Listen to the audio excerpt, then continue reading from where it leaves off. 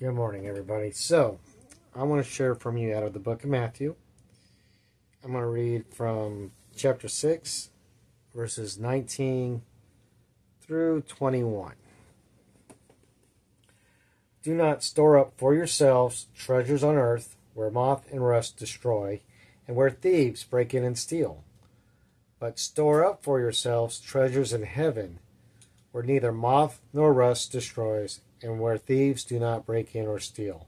For where your treasure is, there your heart will be also. So, and I believe this is Jesus speaking, of course, and basically what he's trying to tell us is that we need to be consumed by love, helping others, loving one another. Um, because if we do that, then we're going to want to bring the best out of people, bring which will bring the best out of us. But it's also the right thing to do is what Jesus Christ did while he was on the earth. And it's what he still does today um, by giving us the Holy Spirit to help guide us through our walk in this life. But if all you care about is money or cars or possessions, you're not going to be thinking about God. You're going to be thinking about how can I obtain these things? And those things, quite frankly, are going to break,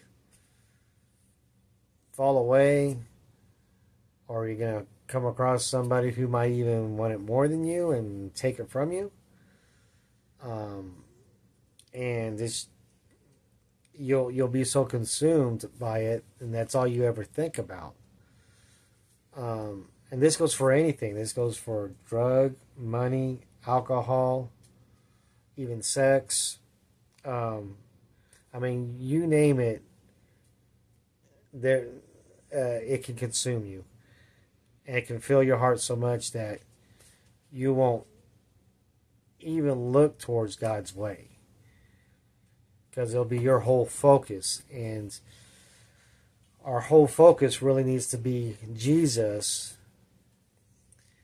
And you know Jesus wants us to love one another to take care of one another and to be kind with one another he even wants us to love our enemies so our hearts need to be consumed by loving others because when we do that then we're going to show God's love for us through the actions that we do towards others.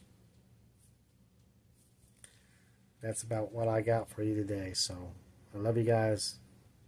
Be blessed, and we'll see you tomorrow. Bye.